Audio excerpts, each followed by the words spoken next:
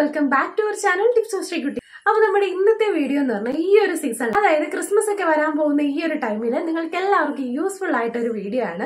ഈ കാണുന്ന ഒരു പുൽക്കൂട് അതായത് ഇറ്റാലിയൻ സ്റ്റൈലിൽ ഒരു ക്രിസ്മസ് ക്രിബ് എങ്ങനെ വീട്ടിൽ നമുക്ക് ചെയ്തെടുക്കാം എന്നുള്ളതാണ് ഇന്നത്തെ ഒരു വീഡിയോ ആരെങ്കിലും നമ്മുടെ ചാനൽ പുതിയതായിട്ട് കാണുന്നുണ്ടെങ്കിൽ വെൽക്കം ടു ഫാമിലി ഒന്ന് സബ്സ്ക്രൈബ് ചെയ്തേക്കാം. സബ്സ്ക്രൈബ് ചെയ്യുമ്പോൾ അതിന്റെ തൊട്ടടുത്തായിട്ടുള്ള ബെല്ലൈക്കനോട് മറക്കാതെ ക്ലിക്ക് ചെയ്തേക്കാം. അപ്പൊ ഈ ഒരു പുൽക്കൂടിന്റെ മേക്കിംഗ് വീഡിയോ കണ്ടാലോ? അപ്പോൾ ഞാൻ ഈ ഒരു ഏരിയയിൽ വീടിന്റെ സിറ്റ് ഔട്ടിലാണ് പുൽക്കൂട് സെറ്റ് ചെയ്യാനായിട്ട് ആലോചിക്കുന്നത്.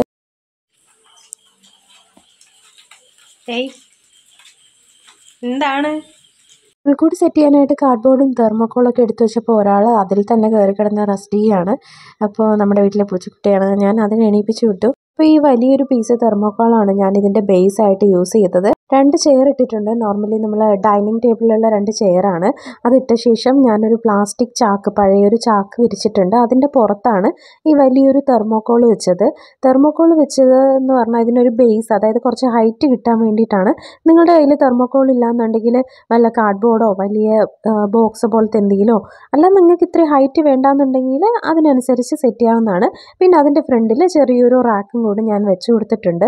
അത് നേരത്തെ എന്റെ ബോട്ടിൽ ആർട്ട് വെച്ചിരുന്ന റാക്കാണ് തെർമോക്കോൾ ബേസ് ആക്കി വെച്ചിട്ട് അതിന്റെ മുകളിൽ കാർഡ്ബോർഡ് ഇതുപോലെ ജനലും വാതിലും ഒക്കെ കട്ട് ചെയ്തിട്ട് ഈ ഒരു രീതിയിൽ ഒന്ന് ഒട്ടിച്ചു വെച്ചേക്കാണ്. അതായത് അതിന്റെ മേളിലും ഇവിടെ ഉണ്ടായിരുന്ന കുക്കീസിന്റെ ബോക്സും പിന്നെ ഞാൻ ക്ലേ വാങ്ങിച്ചപ്പോൾ കിട്ടിയതൊക്കെ ഞാൻ ഇതുപോലെ കട്ട് ചെയ്തിട്ട് അതിന്റെ മേളിൽ വെച്ച് കൊടുത്തു. അതിനുശേഷം നമുക്ക് ആവശ്യമുള്ളത് ഇതുപോലെ ഒരു പുട്ടിയാണ് ബിർള വൈറ്റ് മോൾ കെയർ പുട്ടിയാണ് ഞാൻ എടുത്തിട്ടുള്ളത്. ഇത് വെറും നാൽപ്പത് രൂപയാണ് കേട്ടോ. പിന്നെ പഴയ കുറച്ച് തുണികളും എടുത്തിട്ടുണ്ട്. ഈ കുറച്ച് ന്യൂസ് പേപ്പേഴ്സ് എടുത്തിട്ട് ഇതുപോലെ ചുരുട്ടി ചുരുട്ടി വെച്ച് കൊടുക്കുകയാണ് ഇതെന്തിനാന്ന് വെച്ചാൽ ഫൈനലി നമ്മൾ സെറ്റ് ചെയ്യുമ്പോൾ ഇതൊരു പാറക്കഷ്ണങ്ങൾ പോലെ തോന്നിക്കാൻ വേണ്ടിയിട്ടാണ്. ന്യൂസ് പേപ്പർ തന്നെ വേണമെന്നില്ല നിങ്ങളുടെ വീട്ടിലുള്ള വേസ്റ്റ് പേപ്പറോ എന്തെങ്കിലും ഉണ്ടെങ്കിൽ ഇതുപോലെ ചുരുട്ടി വെച്ച് കൊടുത്താൽ മതി. അതിനുശേഷം ഞാൻ പുട്ടി എടുത്തിട്ട് വെള്ളത്തിൽ മിക്സ് ചെയ്തിട്ടുണ്ട്. കുറച്ച് ലൂസ് ആക്കിയിട്ടാണ് മിക്സ് ചെയ്തിരിക്കുന്നത്. കാരണം നമുക്ക് ഇതുപോലെ തുണിയിൽ മുക്കി എടുത്തിട്ട് ഞാൻ നേരത്തെ കാണിച്ച പഴയ തുണിയില്ലേ അതിൽ പുട്ടി ഇതുപോലെ മിക്സ് ചെയ്ത് തുണിയിൽ മുക്കി എടുത്തിട്ട് ഇതിന്റെയൊക്കെ പുറത്ത് ഇങ്ങനെ വെച്ച് കൊടുക്കാം പുൽക്കൂടിൽ കംപ്ലീറ്റ് ആയിട്ട് ഈ ഒരു ട്രിക്ക് യൂസ് ചെയ്യുന്നുണ്ട്. ഈ പാറകഷ്ണങ്ങൾ പോലെ നമ്മൾ ന്യൂസ് പേപ്പർ വെച്ചതിന്റെ പുറത്തും ആ വീട് പോലെ കാർഡ്ബോർഡ് വെട്ടിയെടുത്തതിന്റെ പുറത്തൊക്കെ ഇതുപോലെ വെച്ച് കൊടുക്കുന്നുണ്ട് ആ ഫ്രണ്ടൊക്കെ ഞാൻ കവർ ചെയ്താണ് ഇപ്പം വെച്ച് കൊടുക്കുന്നത് നമുക്ക് ലാസ്റ്റ് ആ സൈഡൊക്കെ ഒന്ന് കട്ട് ചെയ്തെടുക്കണം. ഫസ്റ്റ് ടൈമാണ് കേട്ടോ ഇതുപോലെ ഒരു പുൽക്കൂട് ചെയ്യുന്നത്. പക്ഷെ ചെയ്ത് ചെയ്ത് വന്ന് ലാസ്റ്റ് ആയപ്പോഴേക്കും എനിക്ക് ഒരുപാട് ഇഷ്ടപ്പെട്ടു. ഇനി നമുക്ക് ആ വാതിലിന്റെയും ജനലിന്റെയും ആ ഒരു പോർഷനൊക്കെ ഇതുപോലെ ഒന്ന് കട്ട് ചെയ്ത് മാറ്റാം.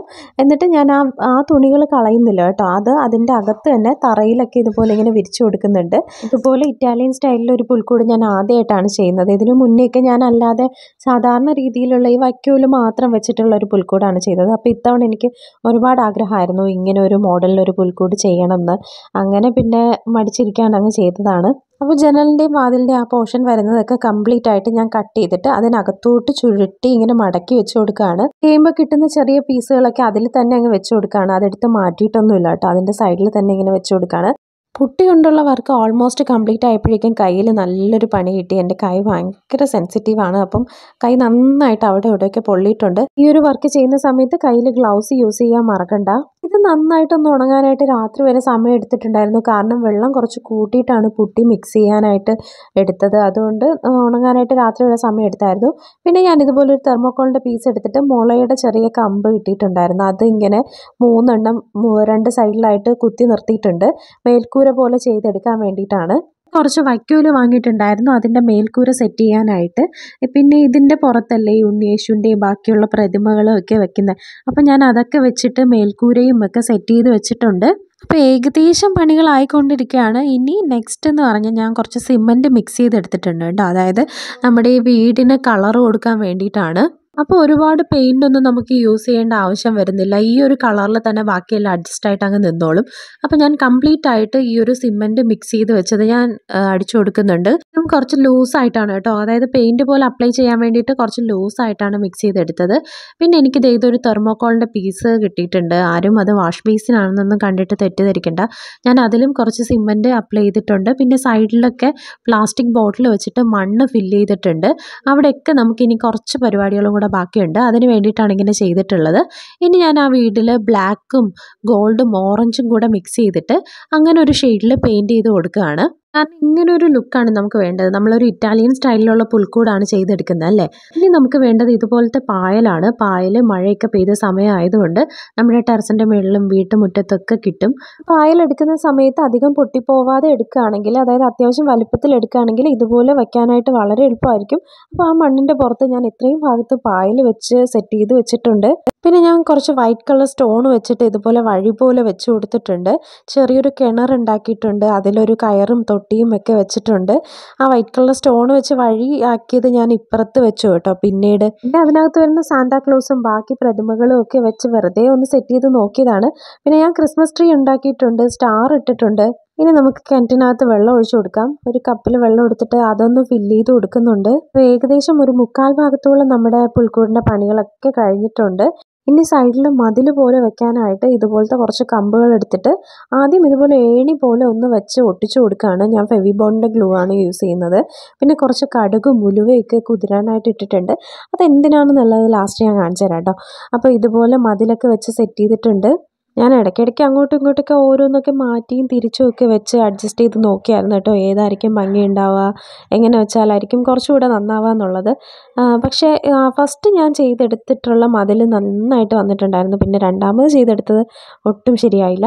പിന്നെ ഇതുപോലെയൊക്കെ ഇവിടെ വെച്ചിട്ടുണ്ട്. ഈ ഒരു ട്രീ ഞാൻ ക്ലേ വെച്ചിട്ടുണ്ടാക്കിയതാണ്. അതിലിനി പെയിന്റ് ചെയ്യണം.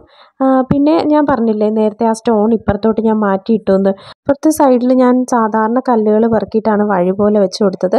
ഇനി ഇവിടെ ഒരു കുഞ്ഞ് ക്രിസ്മസ് ട്രീ കൂടെ ചെയ്തെടുക്കാനുണ്ട്. ആ ക്രിസ്മസ് ട്രീ ചെയ്ത മോഡലിൽ തന്നെയാണ് ഞാൻ ഈ വലിയ ക്രിസ്മസ് ട്രീയും ചെയ്തെടുത്തിരിക്കുന്നത്. അപ്പോൾ ആ ചെറിയ ക്രിസ്മസ് ട്രീ ചെയ്യുമ്പോൾ ഉള്ള വീഡിയോ ഞാൻ ഓൾറെഡി പോസ്റ്റ് ചെയ്തിട്ടുണ്ടായിരുന്നു. കാണാത്തവർ കണ്ടു നോക്കൂ. ലിങ്ക് ഞാൻ ഡിസ്ക്രിപ്ഷൻ ബോക്സിൽ കൊടുക്കാം. ഞാൻ നേരത്തെ പറഞ്ഞില്ലേ കടുകും ഉലുവയൊക്കെ കുതിർത്ത് വെച്ചിട്ടുണ്ടെന്ന്. അത് ഇതുപോലെ ഈ മണ്ണിൽ ഇങ്ങനെ ഇട്ട് കൊടുക്കുകയാണ് അതായത് കുറച്ച് ഒരു രണ്ട് മൂന്ന് ദിവസം കഴിയുമ്പോൾ ഇത് ചെറുതായിട്ടൊന്ന് മുളച്ച് വരും. അപ്പോൾ അത് കാണാനായിട്ട് നല്ല ഭംഗിയായിരിക്കും. പക്ഷെ സാധാരണ തേനെയാണ് എല്ലാവരും യൂസ് ചെയ്യുന്നത് ഇതുപോലെ ചെയ്യാനായിട്ട്. ഞാൻ കുറച്ച് വീഡിയോസിലൊക്കെയും കണ്ടത് അങ്ങനെയാണ്. ഇനി അത് വാങ്ങാനൊക്കെ പോകാനുള്ള സമയമില്ലാത്തതുകൊണ്ട് ഞാൻ വീട്ടിലുള്ള സാധനങ്ങൾ വെച്ചിട്ട് അഡ്ജസ്റ്റ് ചെയ്തതാണ്. ഈ സാന്താക്ലോസും ക്രിസ്മസ് ട്രീ ഒക്കെ വെച്ചെടുത്ത് ഞാൻ ചെറിയൊരു വാട്ടർഫാൾ ആയിരുന്നു പ്ലാൻ ചെയ്തിട്ടുണ്ടായിരുന്നത്. പക്ഷെ അത് ചെയ്യാനായിട്ടുള്ള സമയം എനിക്ക് ഉണ്ടായിരുന്നില്ല. അപ്പോൾ എനിക്ക് വീഡിയോ അപ്ലോഡ് ചെയ്യാൻ വേണം. അതുമല്ല അതിന് വേണ്ടിയിട്ടുള്ള മോട്ടറും കുറച്ച് സാധനങ്ങളൊക്കെ എനിക്ക് കിട്ടിയില്ല. അപ്പോൾ ഞാൻ ആ ഒരു സ്റ്റെപ്പ് അങ്ങ് സ്കിപ്പ് ചെയ്തു. നാല് ദിവസം ആയപ്പോഴേക്കും നമ്മൾ ഇട്ട് കൊടുത്ത വിത്തുകളൊക്കെ ചെറുതായിട്ടൊന്ന് മുളച്ച് വന്നിട്ടുണ്ട്. നല്ല രസമുണ്ട് കാണാനായിട്ട്. അപ്പോൾ ഞാൻ അതിന്റെ ഇടയിലൊക്കെ കുറച്ച് പഞ്ഞി ഇങ്ങനെ സ്പ്ലിറ്റ് ചെയ്തെടുത്തിട്ട് അതൊക്കെ വെച്ച് കൊടുത്തിട്ടുണ്ട്.